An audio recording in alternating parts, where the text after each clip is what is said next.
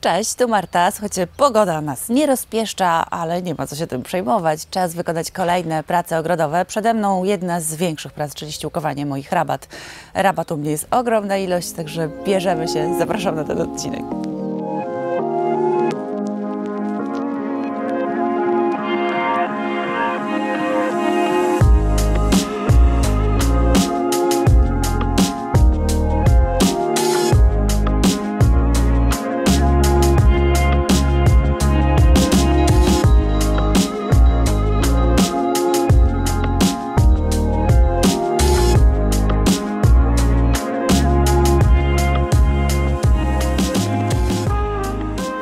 Dzisiejszym odcinku pojawi się fantastyczny konkurs. O tym opowiem Wam za chwilę, ale zanim o tym chciałam Wam powiedzieć, jak moja przygoda z kompostem się zaczęła i dlaczego tak bardzo wierzę w to, że ściółkowanie kompostem jest fantastyczną sprawą dla ogrodu. Zabiorę Was w miejsce, w którym to wszystko się zaczęło i zaczęło się trochę przez przypadek. Chodźmy.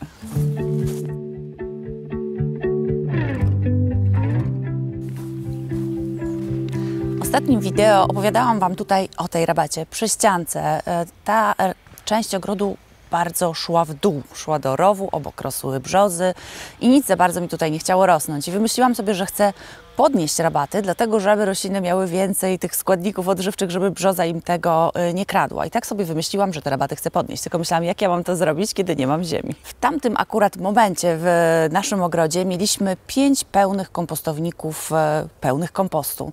I stwierdziłam, że może to jest fajny pomysł, żebym ja wysypała tutaj kompost. Tak niewiele myśląc, po prostu to zrobiłam i posadziłam rośliny. I nagle okazało się, że to były najlepiej rosnące rośliny w ogrodzie. Wszystko było zdrowe, pięknie wyglądało. I pomyślałam sobie, ale tak w samym kompoście, nie dodając niczego.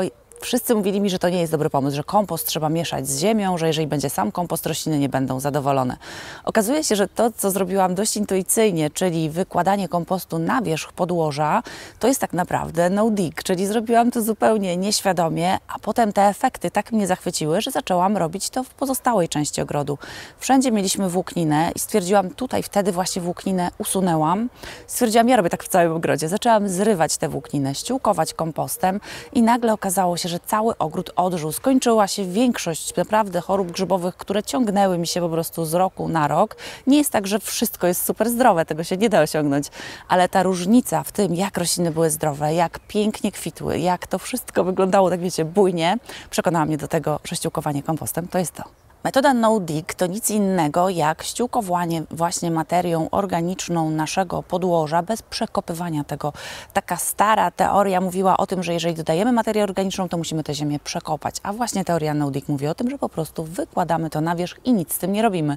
I te wszystkie dobroczynne organizmy i żyjątka, które są i normalnie materię na przykład w lesie rozkładają, zrobią całą pracę za nas, więc super. Nic nie musimy robić i to naprawdę, słuchajcie, działa. To naprawdę zachwyca mnie z roku na rok coraz bardziej. Także oczywiście przy tej metodzie zostaję. Swojego kompostu niestety nie jestem w stanie wyprodukować takich ilości, bo rabat u nas jest kilkaset metrów kwadratowych. Także tyle, ile tego naszego wystarcza, to sobie oczywiście rozkładamy. Natomiast w pozostałej części posiłkuję się kompostem kupnym. Ściółkowanie rabat w tej części ogrodu jeszcze przede mną. To będzie trwało naprawdę długo, bo czasami to jest tydzień, dwa. W zależności od tego, ile mam pomocy, bo to naprawdę jest ciężka praca, trzeba to wszystko rozsypać. Ale jak wygląda mój proces przy ściółkowaniu? Najpierw przechodzę i wycinam wszystkie, tnę wszystkie takie róże, lawendy, powojniki, wszystko, co tam mam. Wybieram wszystkie stare liście. To jest dla mnie bardzo kluczowe, bo higiena, jak wiecie, jest dla mnie najważniejszą sprawą, jeżeli chodzi o zdrowotność moich roślin, w szczególności róż. I wtedy, kiedy wszystko mam już uprzątnięte, przycięte, wtedy wchodzę z nawożeniem, a następnie wszystko ściółkuję. Wtedy wygląda wszystko pięknie. Staram się też tutaj wysprzątać wszystkie, wiecie, e, wszystkie moje ścieżki. Robię też wertykulację trawnika tak, żeby kiedy już siłkuję, wszystko wyglądało pięknie. To jest tak cudownie to wygląda, po prostu ten czarny kompost rozrzucony, do tego te wychodzące cebulowe. Ja po prostu ten widok uwielbiam, zawsze Wam to powtarzam. Daje mi on tyle radości wiosną, że mogę już teraz tylko czekać, jak to już jest skończone. Mogę czekać na kwiaty, i, jak zwykle pełna ściema, tylko się relaksować w ogrodzie. Wiadomo, że tak nigdy nie jest, ale przynajmniej te największe prace są wykonane. Idziemy na front, tam już mam wyściółkowane kawał, kawał rabat. Jeszcze zanim tam dojdziemy, słuchajcie, chciałam Wam pokazać rośliny. Zobaczcie, jak fantastycznie wyglądają. To są kosze, które robiłam w ostatnim wideo. A tutaj mam jeszcze e, cebulę hiacyntów, które posadziłam jesienią. Bardzo, bardzo późno je sadziłam, ale już też zaczynają kwitnąć. Ja po prostu, jak jest jakikolwiek kolor w ogrodzie, ta piękna, czarna ziemia, to po prostu mam największą radość. Lecimy dalej. Tutaj możecie zobaczyć różnicę pomiędzy rabatą, która jeszcze nie jest wyściółkowana, a tą, która już jest. Dla mnie ta różnica zawsze jest tak ogromna. Tutaj mam już wszystko przycięte, nawiezione. No i teraz działam, przechodzę, słuchajcie, ile danego dnia dam radę, to sobie właśnie ściółkuję. Ja nie robię bardzo grubej warstwy tego kompostu. Co roku dodaję około centymetra, dwóch i dla mnie to jest wystarczające, bo ja tak naprawdę jak z wszystkim testuję, co w ogrodzie się sprawdza i dla mnie ta metoda jest ok. Jakbyście posłuchali o Nordic, to jednak zawsze jest polecana grubsza warstwa kompostu. Ja stosuję e, takową i też to działa, także tego się trzymam. Od dwóch lat na naszych rabatach używaliśmy kompostu Kronen, ale w tym roku wychodzi nowy produkt, który naprawdę jestem e, podekscytowana i bardzo ciekawa, jak wyjdą z nim e, testy. Z firmą Kronen współpracujemy na naszym kanale od samego początku. Była jedną z pierwszych firm, do której sama napisałam, bo używałam ich produktów już wiele lat. Przede wszystkim ziemi do wysiewów i ziemi do pelargonii, które to są moje dwa ulubione produkty, o tym wiecie, nie, niejednokrotnie Wam o tym opowiadałam. I wtedy do nich napisałam powiedziałam, że byłoby super, gdyby razem ze mną zorganizowali konkurs dla widzów i oni tak też podekscytowali się tym pomysłem i tak sobie razem współpracujemy już trzeci rok, co mnie niesamowicie cieszy, bo bardzo cenię ich produkty. To są ludzie, którzy podchodzą z pasją do tego tematu, bardzo duży nacisk kładą na to, żeby jak najmniej ich produktów zawierało torf. Coraz więcej szukają takich rozwiązań właśnie beztorfowych, co bardzo, bardzo cenię. W tym roku pojawia się nowy produkt, który nazywa się Eko Kompost. Jest to ekologiczny kompost, który powstaje w procesie fermentacji z dodatkiem mikroorganizmów i minerałów. I to, co na pewno Was zainteresuje, to to, że jest to produkt bezwonny i pozbawiony zanieczyszczeń. On jest pozyskiwany z e, biomasy porolniczej, a nie tak jak bardzo często komposty te innej generacji, które miały w sobie taką masę, która była pozyskiwana na przykład z parków, czyli tam zdarzały się czasami jakieś drobinki plastiku. Tutaj tego nie ma, co mnie wyjątkowo cieszy. Ja już rozpakowałam, słuchajcie, chyba z 30 tych worków i ona jest tak piękna. Ta, ten kompost jest gruzełkowaty, taki czyściuteńki, cudny po prostu, więc już jak rozkładałam, po prostu sama się cieszyłam, że jest taki fajny. Dla osób, które lubią takie ciekawostki, jak taki kompost powstaje, ja wrzucę Wam link do filmu na stronie Kronena, gdzie możecie dokładnie zobaczyć, jak to wygląda. Ostatnie dwie ciekawostki na temat tego kompostu. Opakowania nadają się do recyklingu, natomiast sam kompost jest wykonywany z lokalnych produktów, co oczywiście zmniejsza ślad węglowy. Na pewno dla wielu z Was też jest to ważne, tak jak i dla mnie. Waham się właśnie, czy najpierw Wam powiedzieć o konkursie, czy brać się do pracy, ale chyba bierzemy się do pracy, co? Trzeba coś, coś tutaj w tym ogrodzie wykonać. Będę się zajmować tą rabatą, chcę tutaj wyściółkować sobie. Ja robię tak, że po prostu rozcinam każdy worek, rozkruszam sobie delikatnie w rękach i delikatnie rozkładam pomiędzy roślinami. W ten sposób on wygląda dla mnie bardzo naturalnie. Ja lubię, żeby te rabaty były takim, wiecie, płaszczykiem czy kocykiem z kompostu pokryte i po prostu dla mnie wtedy to wygląda najpiękniej. Jeżeli są takie rośliny, które wiem, że ich nie połamię, ja mam tak dużo tulipanów, że zawsze staram się to robić delikatnie, bo jakbym tak z worka sypnęła konkretnie, to mogłabym coś tam połamać. Także staram się to robić delikatnie, chyba że rośliny są po prostu pięć patyków hortensji. Wiem, że jak rozsypię, to nic tam złego się nie stanie. To wtedy rozsypuję całość i tylko sobie już grabkami je rozgrabiam. Ale jak są tulipany, to tam jest mała koronkowa praca przeze mnie. Ruszam do pracy.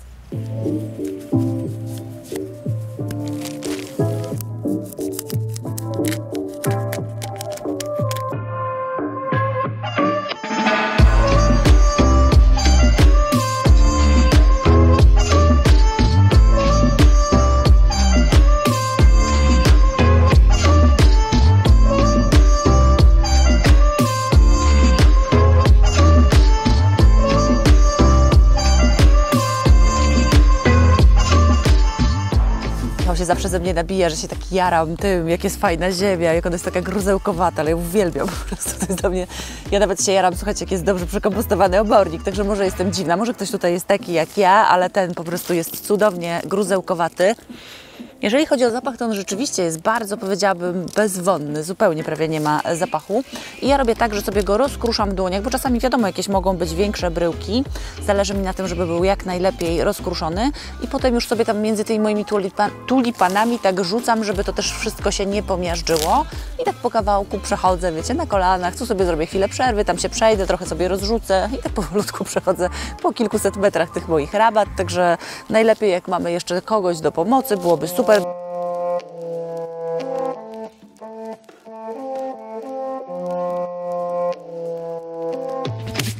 Ostatnio pojawiło się bardzo ciekawe pytanie od Was na Instagramie, czy ściółkuję kompostem także rośliny kwaśnolubne. Kompost ma e, pH w kierunku zasadowym, także jest to bardzo dobre pytanie. Ja robię tak, że rośliny takie, które tolerują glebę gdzieś tam na pograniczu kwaśnej i neutralnej, ściółkuję, bo to jest raptem centymetr dwa kompostu. Gdyby one nam były w stanie tak mocno odkwasić glebę, to byśmy w ogóle nie stosowali dolomitu, tylko taką warstwę kompostu. Nie wydaje mi się, żeby to aż tak było.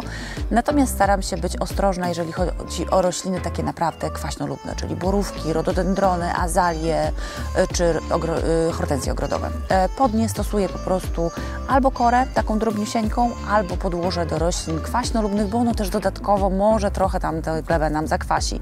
Także w ten sposób e, działam i jak na razie wszystko się sprawdza, wszystkie wyglądają dobrze i nie mają jakichś z tego powodu niedoborów.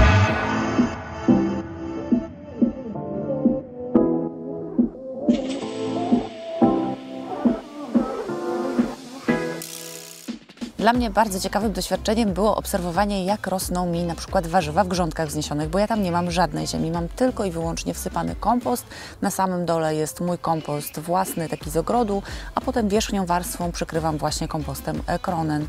E, I te warzywa rosną fantastycznie. Widzieliście w zeszłym roku, jak piękne mieliśmy właśnie sałaty, buraczki, marchewki, rzodkiewki. Wszystko rosło jak szalone. Przez cały sezon nie zauważyłam, żeby cokolwiek miało jakieś niedobory, także ja zdecydowanie przy tej metodzie zostaję. Zawsze z ciekawością oglądam Charlesa Dowdinga, który też w kompoście warzywa wszelakie uprawia i też ma fantastyczne efekty. A ciągle z tyłu mojej głowy, wiecie, ta pani w sklepie ogrodniczym, która powiedziała, nie można rzeczy uprawiać w samym kompoście. Kompost tylko trzeba wymieszać z lokalną ziemią. I ciągle gdzieś tam z tyłu głowy to mam, ale już te kilka lat właśnie tego, że rzeczy rosną, znaczy rzeczy, że rośliny rosną po prostu w samym kompoście udowodniło mi, że jednak ta pani nie miała racji. To nie była dobra rada, którą dostałam ogrodnicza.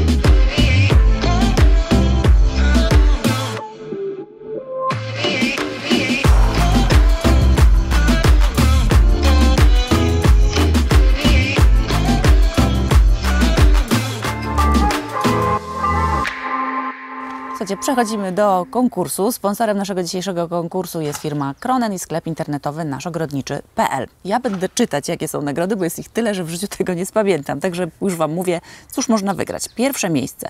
Bon o wartości 500 zł brutto do wykorzystania w sklepie naszogrodniczy na donicę na wymiar z włókna szklanego z ziemią Kronen. Drugie miejsce. Donica z ziemią wartości 300 zł lub bon na paletę podłoży Kronen o tej wartości do wykorzystania w sklepie naszogrodniczy.pl. Trzecie miejsce. Donica z ziemią wartości 200 zł lub bon na paletę podłoży Kronen o tej wartości do wykorzystania w sklepie naszogrodniczy.pl. I jeszcze mamy wyróżnienia, trzy zestawy. Zestaw do uprawy pomidorów lub groszku w domu lub na balkonie z ziemią Kronen i nawozami. Dodatkowo jeszcze, oprócz tych nagród, mamy 50 zł na zakup palety Kronen z darmową dostawą w sklepie internetowym Nasz Ogrodniczy.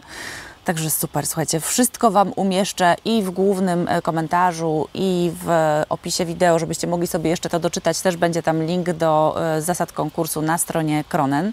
Cóż trzeba zrobić, żeby w tym konkursie wziąć udział? Aby wziąć udział w konkursie, musicie być pełnoletni, być subskrybentem mojego kanału i odpowiedzieć pod tym wideo y, na pytanie, jaka rada ogrodnicza była najlepszą, jaką otrzymałeś w swoim życiu oraz, to jest bardzo ważne, słuchajcie, musicie wejść na stronę Kronen pod linkiem, który Wam tutaj napiszę, będzie w komentarzu i będzie w opisie wideo i tam na tej stronie wyświetli Wam się kod i do tej Waszej odpowiedzi na to pytanie, jaka ta porada była najlepszą, musicie dodać ten unikalny kod. Bez tego kodu niestety Wasze odpowiedzi nie będą brane pod uwagę, także to jest bardzo istotne.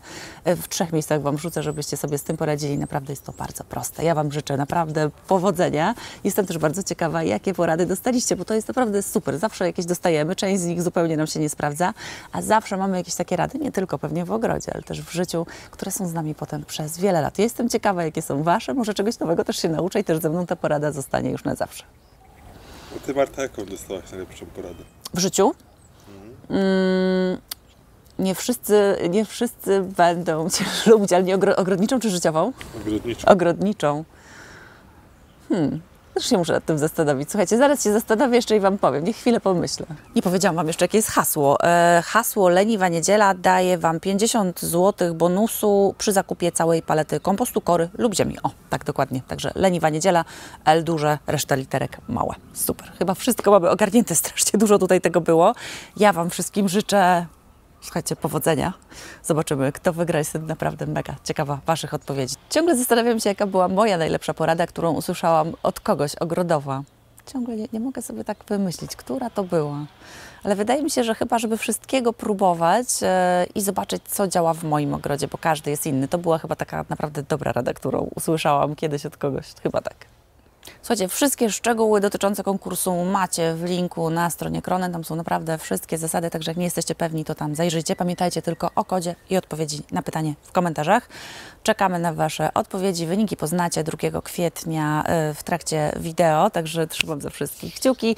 Ja się biorę dalej do pracy, bo samo się nie wyściółkuję, także działam. Życzę Wam przemiłej niedzieli i życzę nam, żeby nie było żadnych przymrozków. Cały czas piękne słońce, mięśnie nas nie bolały, a my będziemy mieć cały czas siłę do działania. Do zobaczenia w następnym odcinku.